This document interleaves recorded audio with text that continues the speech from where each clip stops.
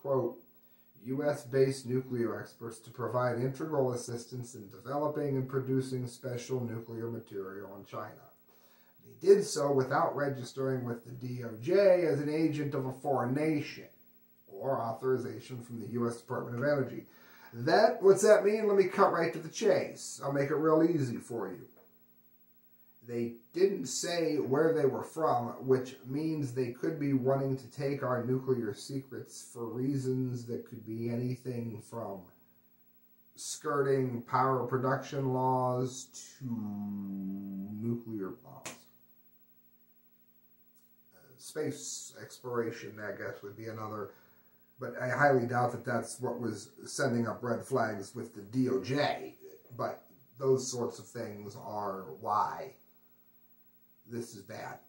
And they use such gobbledygook language to deflect from it. Theft of our nuclear technology by foreign advisors is of paramount concern to the FBI. I would hope so.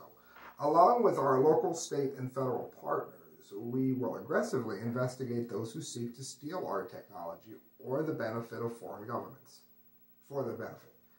Said FBI Special Agent Renee McDermott at the time. As we noted Monday, the U.S. government, it says, is analyzing a reported leak at China's Taishan nuclear plant after the French company that co-owns it warned of the imminent. Okay, never mind. There's that tweet. That started out with that. And, uh, AFP news agency right there, friends. The gas was released after the coating on some fuel rods had deteriorated. A repeating problem that in all this time science has not been able to fix. It happens the coating on that's been a problem. I think it was a problem at Windscale, Three Mile, off a lot of the places I already mentioned. And here we are, 2021, still having the same problem.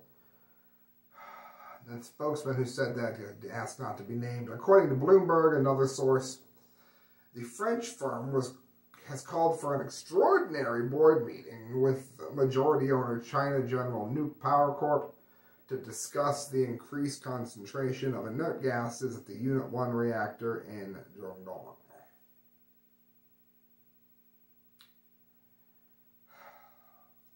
And of course, just when you thought it could not get any worse, of course it can. It's the dumdy, the dumdy, dumdy, dumdy of the day. Now, before we do it, one more time, let me remind you, the views at hotmail.com. You can donate through PayPal. Even more important than that, that you are an idiot song. I'll let it play. Even more important than that, well, I'll try to let it play, is that you hit share. Alright, I'm not going to let it play. I can't get a good volume. That you hit share, you hit subscribe make sure this gets out to people. That's a massive help. All right, guys. Uh, Dumb of the day powertechnology.com. I don't think there have been, I think a couple of these have not been on the show before, but again, there's only two a month right now. Uh, something in the water. Controversy courts the Fukushima cleanup. How many times has this gotten the dumdy of the day? Well, don't blame me, because they continue to go on with it, and it's uh, until we stop it, keep drawing attention to it, they, the most of this has been halted by people like me and hundreds and hopefully, you know, maybe even thousands of people like me standing up and saying, no, no, no, no, no, no, no. The fishermen are certainly there begging us not to. They know what it's going to do, not just to them, but to the world when they sell their food, which they should not be allowed to. Not if it's caught there. In the decades since the Fukushima Daiichi nuclear power plant disaster devastated the region, Local fisheries have worked hard to win back consumer trust in their catch. Wonder why? Because it's glowing! As a confidence-building measure, oh yeah. All docked fish are routinely screened for radioactive cesium, but not necessarily plutonium, americium, uranium, tritium, no, you know, cesium. That's because it's if you test for one, oh, it's clean. You can you can you can claim that you didn't know any better and they must meet standards more stringent than those in the EU before they can be sold to market. And those rates have still been changed, particularly in the US.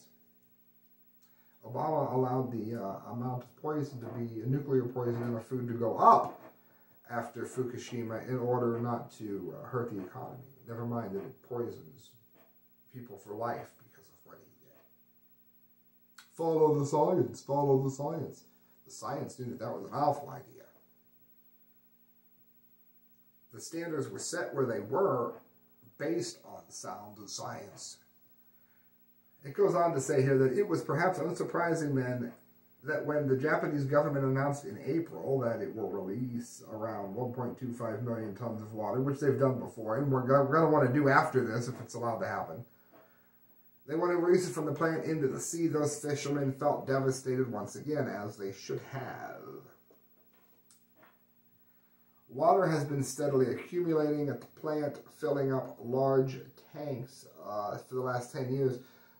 And TEPCO said that the plant operator, they say that the strategy cannot be sustained. So in order, because they can't deal with it, the best thing to do is to simply dump all of the water that's been sitting there into the ocean to poison everyone. That, that, that's, that's, that's their grand, grand solution. Why is there so much water? Well, God, this site is annoying as hell. Water is an important part of the nuclear because they use the water to keep. They're going to give you a horrible explanation.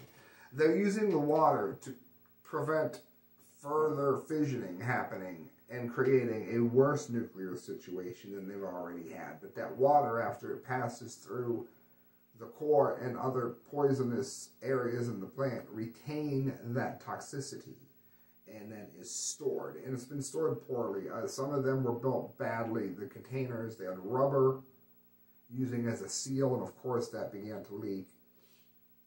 When a core meltdown happens, radioactivity, primarily cesium-137 and strontium, that's bone cancer, lymphatic cancer, and again, we've covered the other elements, but that's what those two like to do, and heart trouble, is released from the broken fuel pins into the cooling water, contaminating it. After this happened at Fukushima, a few cubic meters of water per hour were routinely added to the site to maintain the cooling. Furthermore, to stop any water from leaking out of the facility and into the sea, groundwater levels in the building were kept lower than outside, meaning the site is always gaining water. Hence why is increased by 140 tons a day. That's why you don't build nuclear power plants, we've been correctly saying. An advanced liquid processing system is used to remove cesium and strontium, but cannot take out tritium. France is, France is the one who made that, by the way, that removal system. It's the best they can do. How safe is the water? This, this is golden. I personally think that releasing the water is the right thing to do. That's why I like how China said, good, drink some says Lake Barrett, an independent consultant who has worked in the nuclear industry for five decades, including the Three Mile Island nuclear facility in the U.S. How does that make you feel any better? Like, uh, again, Dr. Caldicott said, don't ever eat Hershey's. Hershey's never moved, and the radioactivity that's going into the cows, which are producing the chocolate for the milk, is deadly. And even if it's not made from the same milk, that milk that whatever milk is used in the plant absorbs that nuclear that nuclear poisons, and that was that was allowed to happen. Hershey never had to move. Oh, it's safe. Who knows how many cancers we've seen that can, you know, how would you prove it? That have been linked to that awful decision.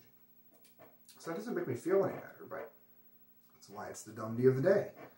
Barrett is also the former head of the U.S. Department of Energy's Office of Civilian Nuclear Waste Management. Makes me feel even worse.